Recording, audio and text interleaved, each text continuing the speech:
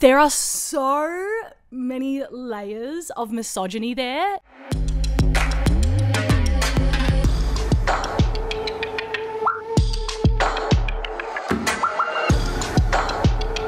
Welcome back to Behind the Edit, your go to podcast for unpacking the actual reality behind reality TV.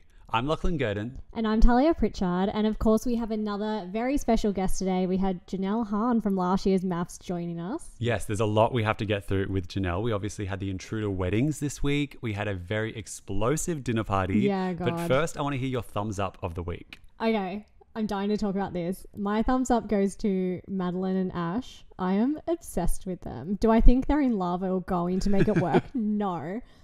The value she's brought so far in her first couple of episodes. I'm disappointed we didn't get to see her more in the dinner party because I feel like we could have used her psychic medium skills to unpack some of the stuff that was happening. And Ash's expressions at every single turn when she's like having a vision or talking to her spirit guides or whatever yeah.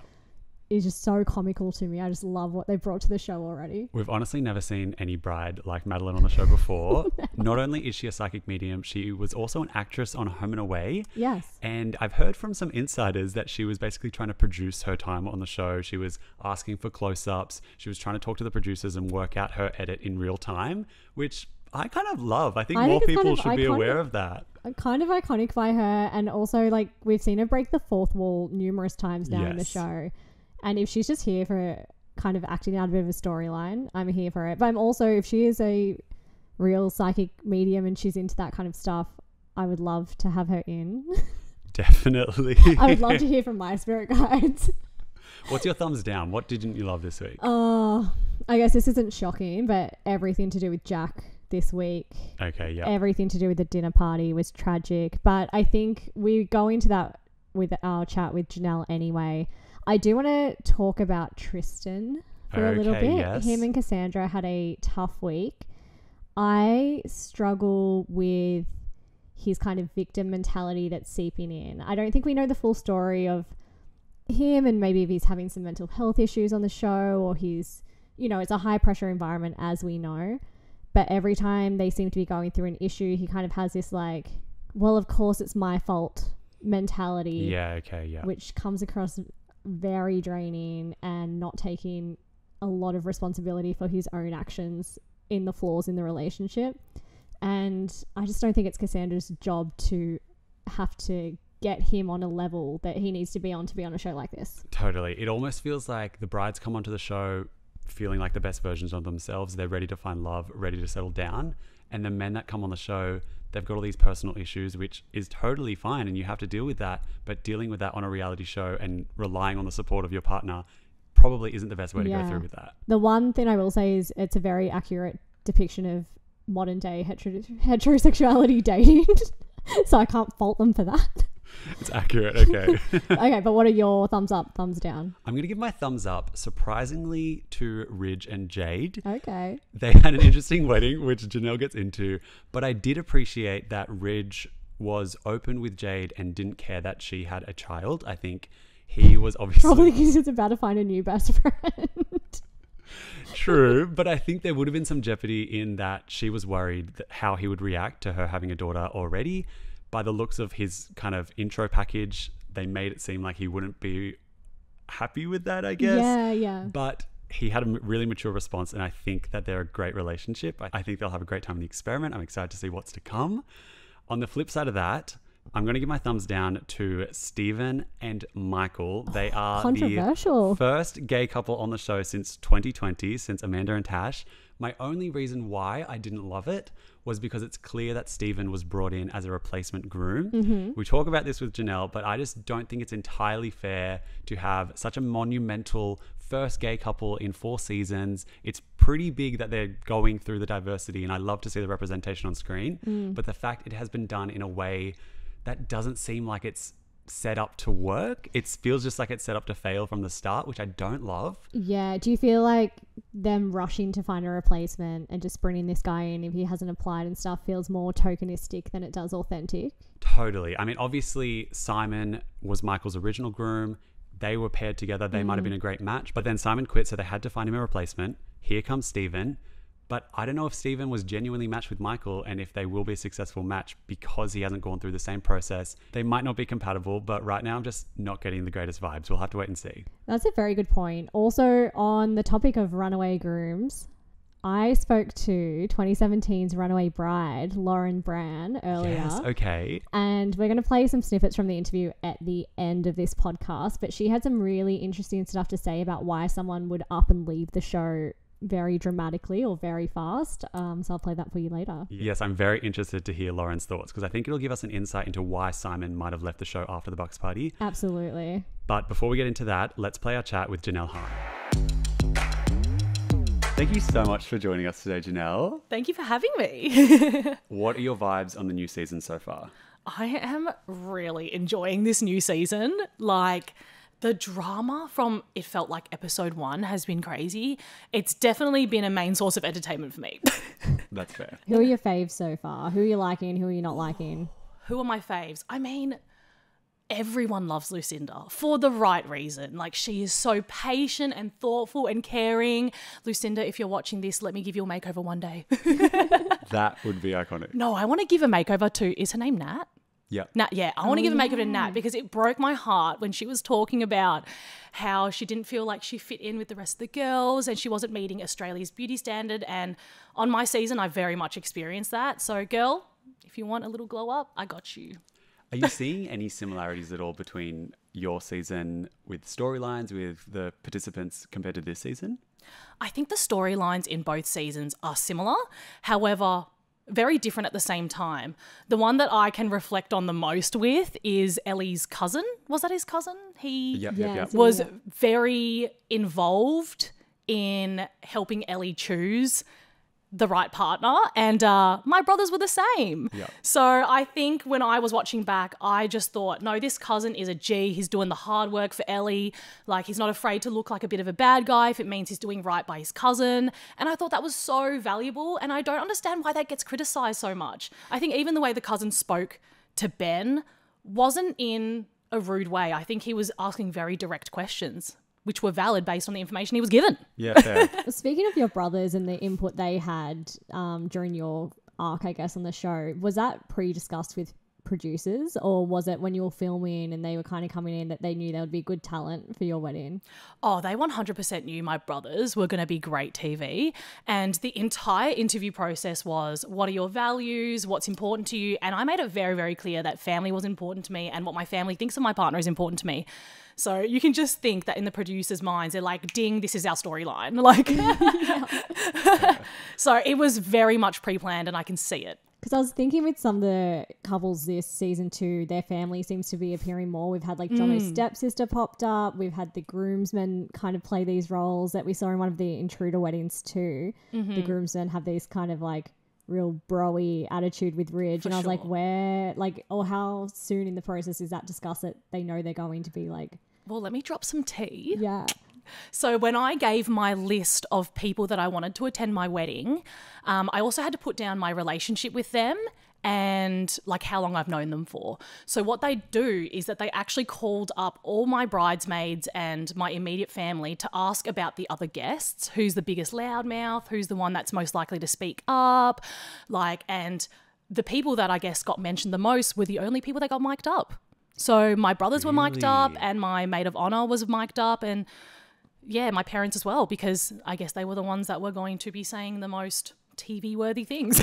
Interesting. Oh, I feel like we makes so much saw that at Sarah and Tim's wedding where she had her own bridesmaids, but then there was just a random friend that was that got was mic'd mic'd up. up. That's right. So uh, clearly she was the drama I starter mean, and the think producers back to that. Bronte and Harrison's wedding. Like the pink dress, Yep. Jess, Yep. she was mic'd up, but she wasn't even a bridesmaid or a relative. So Mm. you can see everything is very intentional on MAFS, which I don't hate because it makes for good TV.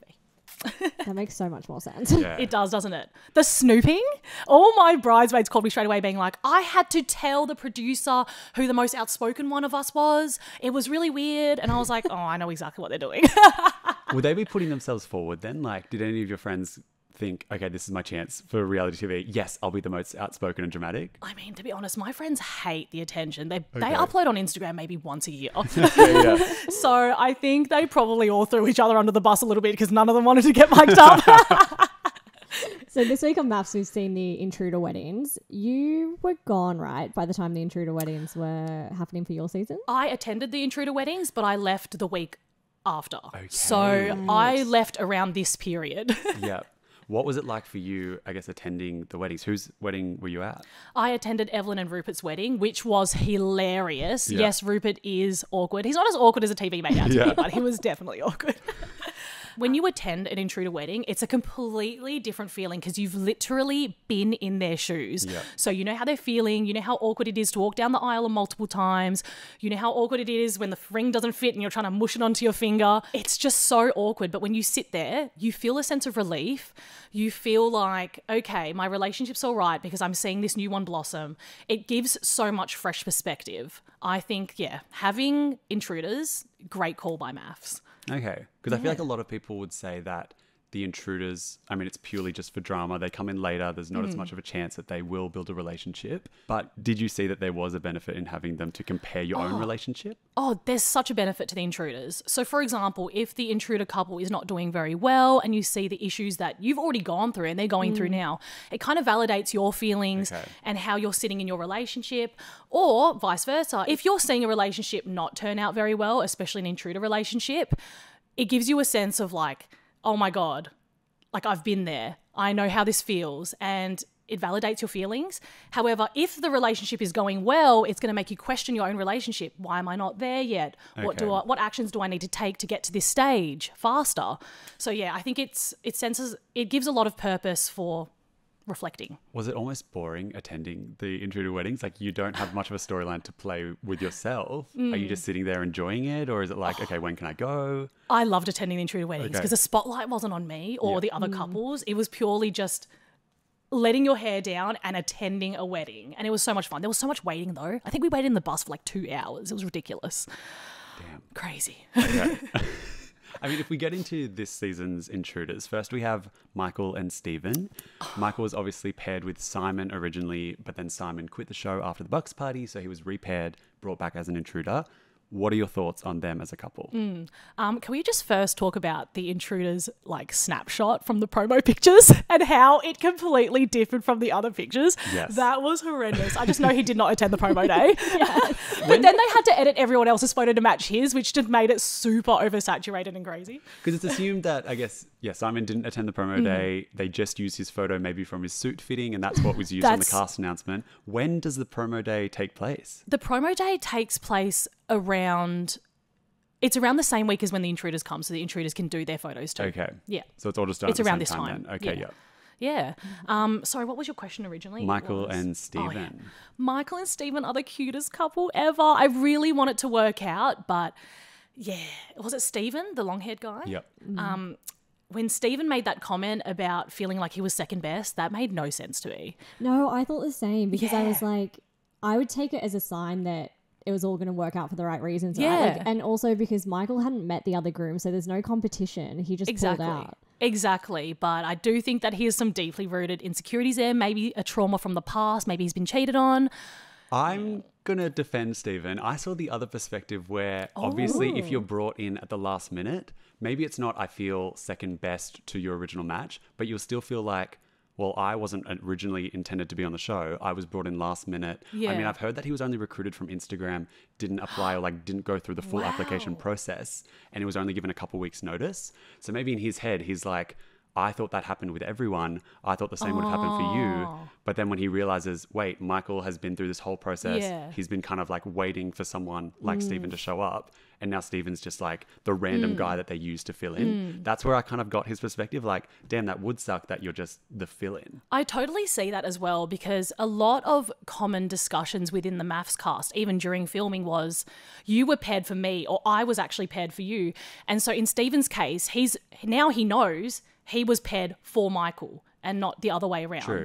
Obviously, I like to pray and hope that you're paired for equal reasons, but in this case, it's very obvious that Stephen was brought on for Michael. Yeah, that's true. I guess that's the mm-hmm. positive way to mm-hmm. look at it that he was specifically chosen for Yeah. Michael rather than an application pool where they just randomly paired together. Okay. But But now, either but now Stephen doesn't feel like the main character. true. Oh, that's true. I was going to say his insecurities probably shouldn't lie with Michael though, because Michael has no responsibility over the choosing Yeah, and all true. the It's not picking. Michael's So it's like a producer insecurity potentially. And that's exactly right. The responsibility does not lie on Michael at all. Another intruder couple was Jade and Ridge. There was a lot to go on at their wedding, especially with their bridal party. What were your initial thoughts on them as a couple, though? Oh my god, what was that the word that they said? Deuce. Deuce. Dece. I can't. The frat boy energy was the perfect way to describe that. Um, I really dislike any male that feels the need to call themselves an alpha male. Like, if you need to say it, you're just not. You know? No, and um, if you live at home with your parents, like how much of it, you know, the alpha stereotypes to be a provider and a protector and whatever, it's like mum's making your bed. What are you ah! talking about? Ah! Mic drop. no, but literally, I just think that if you're going to call yourself an alpha male, are you living independently? Are you succeeding in life? Like, are you extremely confident? And I don't think alpha male necessarily needs to be like, I'm this strong, opinionated person. It can be someone who owns their confidence, owns their their heart, their mind, like everything. So yeah, if you have to yell out "Deece" to your wife, like mm, in the bin. Rather than us saying Dece, I want to play the clip of him saying it just so it really sinks in how gross it sounds. I know the experts had their work cut out finding me the perfect match, but now, boys, give us a Dece. Dece.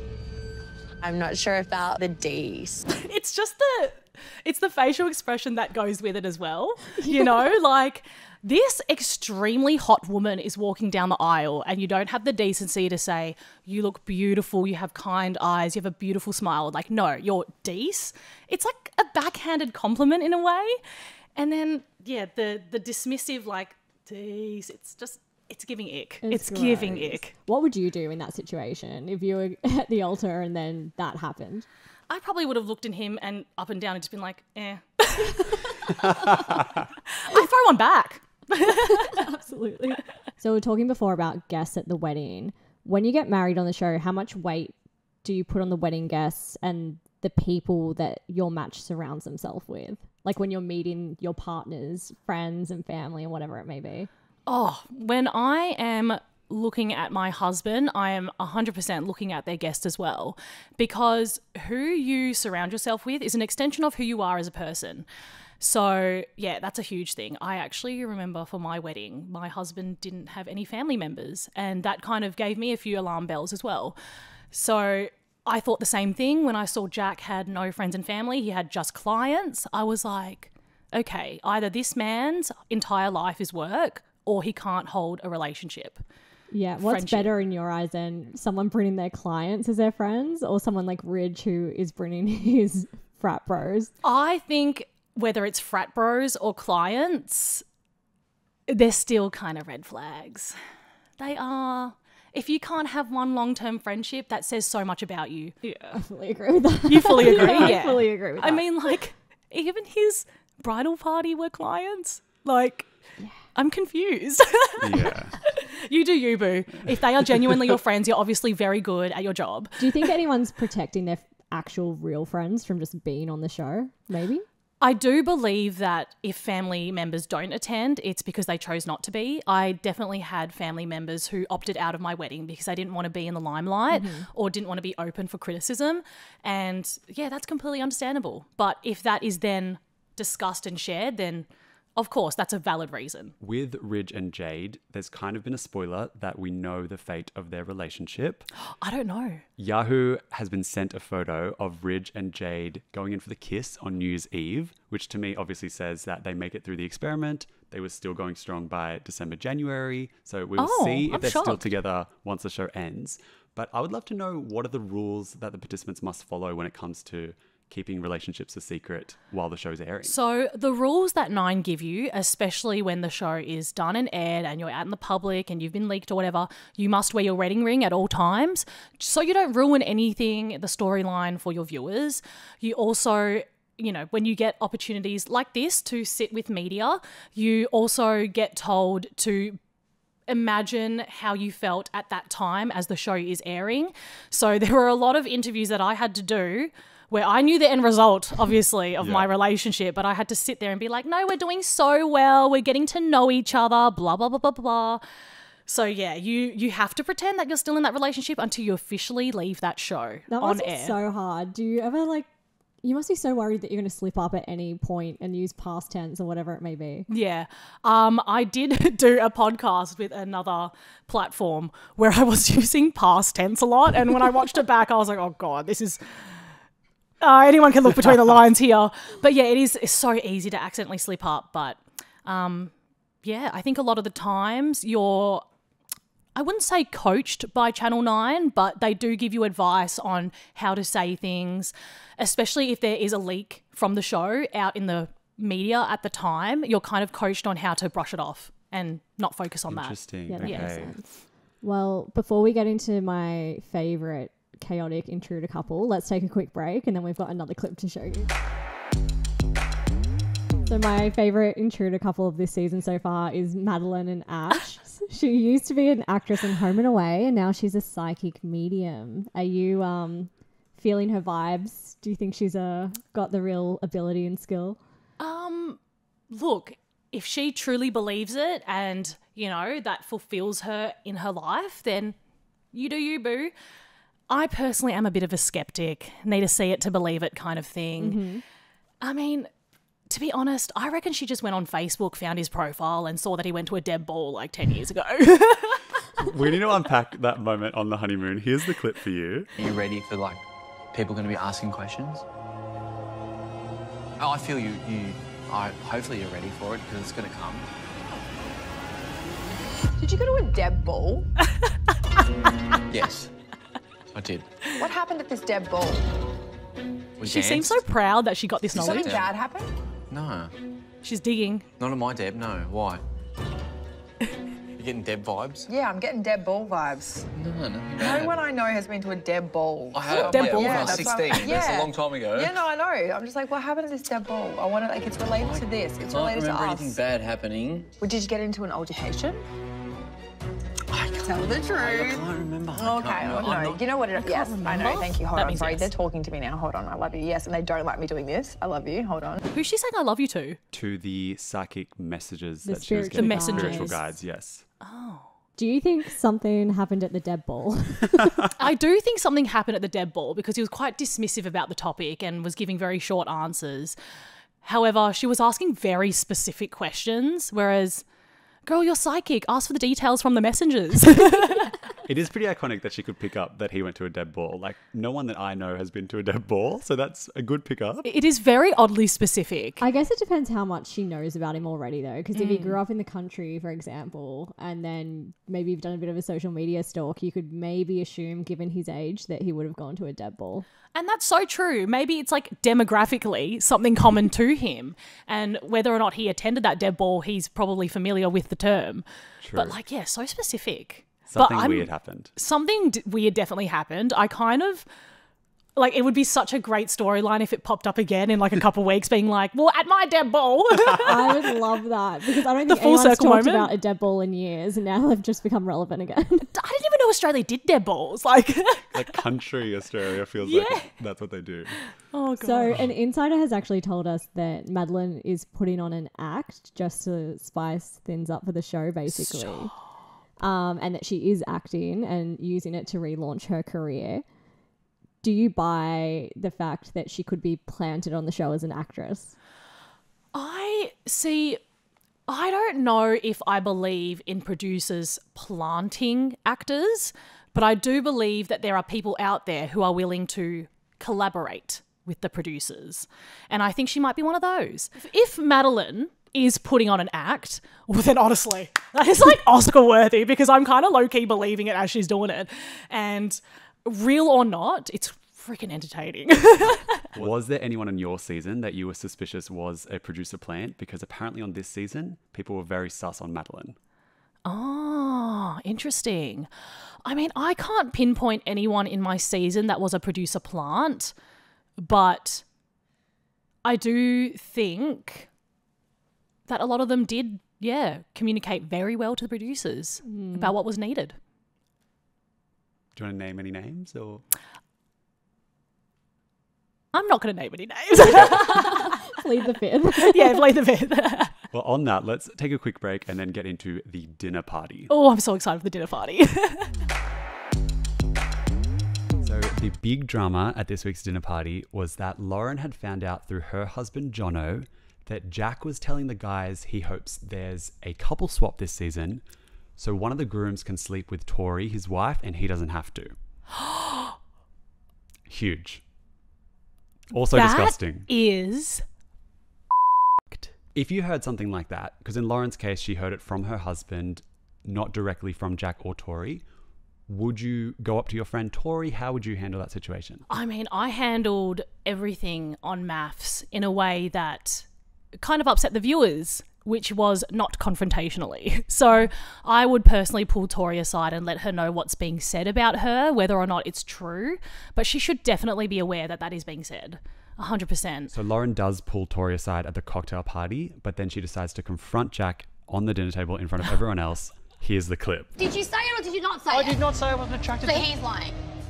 We talk about everyone's relationships. I would never go home and say something to my wife that I don't need to say. Don't come at him. Don't We come all at him. have.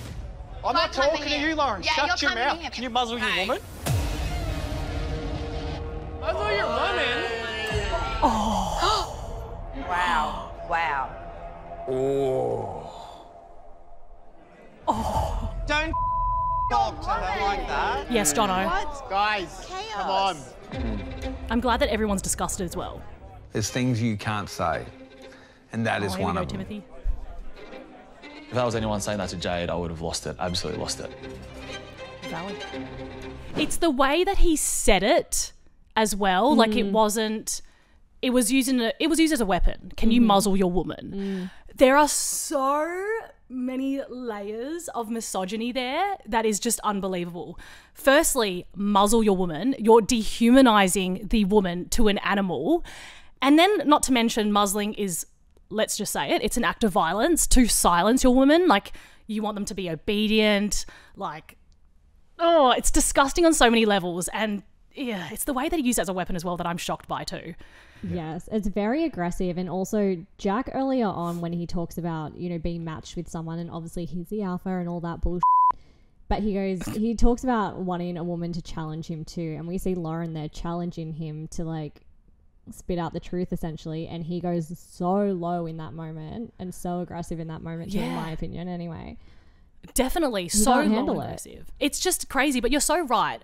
When men say they want a woman to challenge them, it means that they want this woman to challenge them, but then bend over straight Yeah. afterwards. But yeah, not on their terms, right? Yes, bending over, not on their terms. That's exactly what I would say too. It's crazy. What was really interesting was that after the whole muzzle your woman comment, Tori didn't side with her friend Lauren. She actually defended Jack and said that his comment about wanting a couple swap so she could sleep with another groom was their sense of dark humor and that was something that he would have said to her privately so she didn't really care and she was more angry that Lauren had decided to make a scene at the dinner party rather than pulling her aside when the cameras weren't there or texting her so it was a ah. very interesting dynamic And I just don't think that using the term dark humor lets you get away with it. If that was said to me as a joke, I still wouldn't accept that. Like, I feel like there's a lot of underlying things that need to be unpacked from that as well.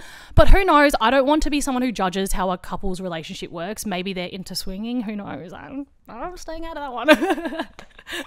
But yeah, even yeah, using dark humor as an excuse, there's nothing funny you can pick out of that. Nothing funny about that. where's the punchline Yeah, like It's no just one on the table's laughing at this.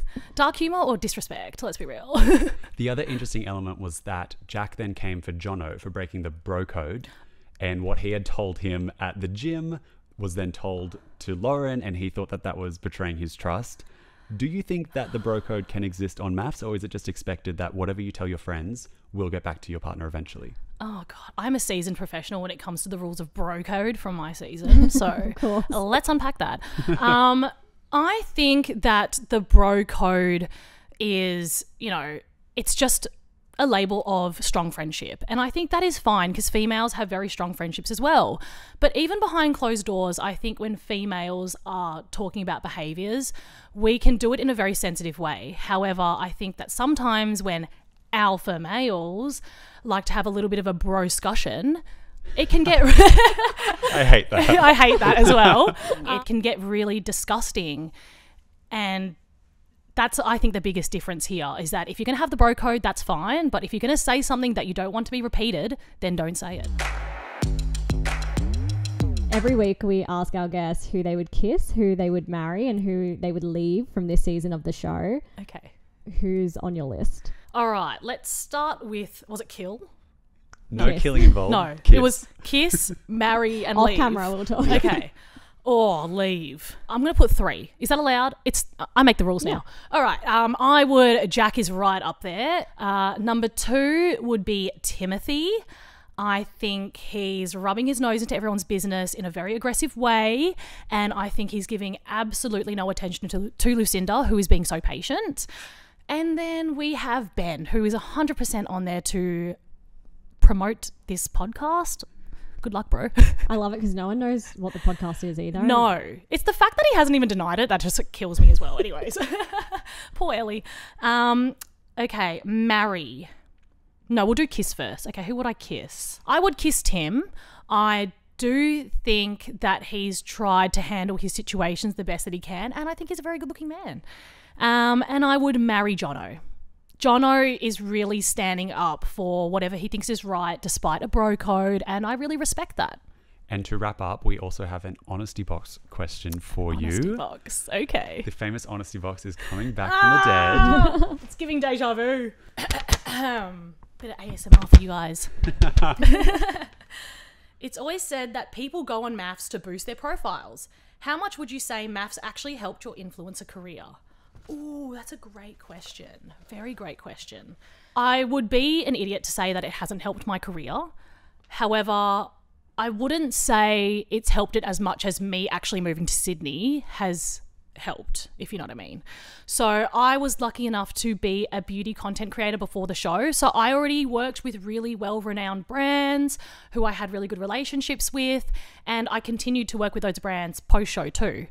I would say the biggest difference is that my follower count probably went up a little bit, so therefore my rates went up a little bit too. So thanks, MAFS. Would you have moved to Sydney, do you think, if you hadn't gone on MAFS? if I hadn't gone on MAFS, I probably would have made a move to Sydney, but not as long as I would have stayed as if I'm staying now. I probably would have done like a three month stint in Sydney or something like that. So, in a way, MAFS has helped me fast track my decisions in progressing my career as opposed to just sitting in Perth and in my little room filming makeup videos. I know you said you were previously approached to be on The Bachelor. yeah. Would you ever go on another reality show now that you've been through MAFS? Look, I can't say I would choose a dating show anymore because I can't fathom being on a show 24 7 where the only source of thought has to be how do I make this relationship work? Yeah. I would so prefer if that mental energy came into something a bit more productive, like Celebrity Apprentice or The Block or travel guides, where you're doing something fun. You get to show your personality as opposed to the difficulties of a relationship.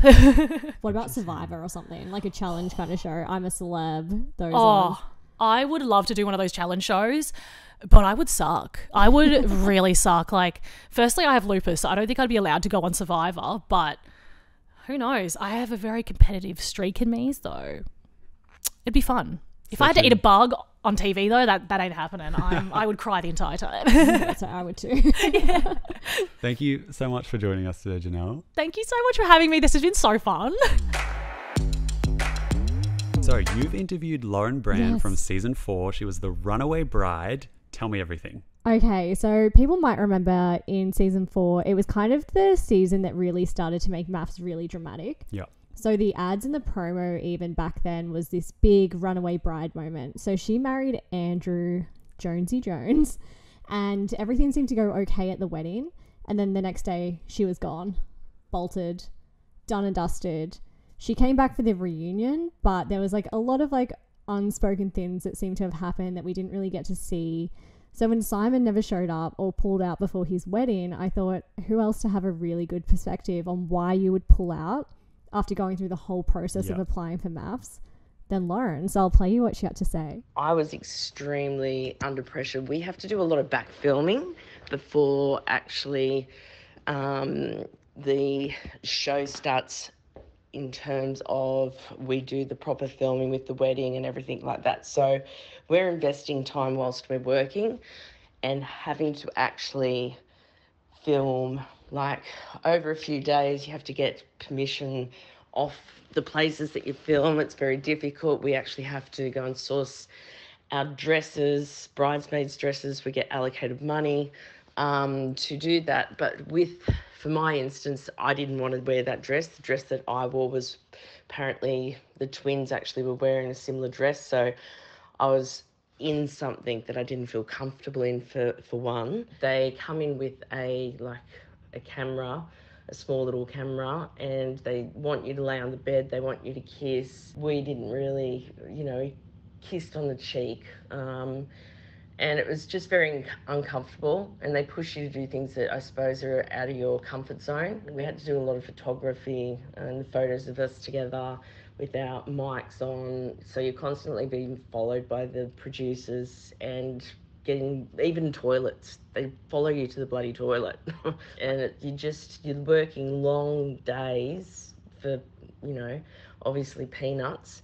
Okay, she does make a great point that just because Simon was only attending the Bucks party doesn't mean that was his only day of filming. Yes, that's what I found the most interesting part too, because you don't factor in all the back filming. Obviously, when you hear that, it makes more sense why someone would just tap out. They don't know fully what they've signed up for. That also was seven years ago, seven seasons ago. Yeah. So it was a completely different show then.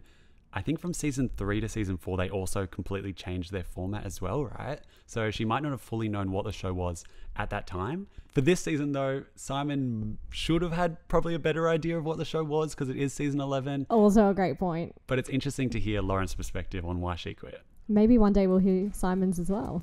Simon, if you're listening, come on behind the edit. Thank you so much for listening to another episode of Behind the Edit. If you enjoyed this episode, make sure you leave us a five star review. You can follow us on all our socials, join our exclusive Facebook group, and sign up to Yahoo's MAFS newsletter. All the links will be in the show notes. We'll see you next week. Behind the Edit is brought to you by Yahoo Australia, hosted by Lachlan Guertin and Tahlia Pritchard, produced by Katie Brown, social production by Alexa Tubertini. Yahoo Australia would like to acknowledge the Gadigal people of the Eora Nation, the traditional owners of the land on which this podcast was recorded, and pay our respects to elders past and present.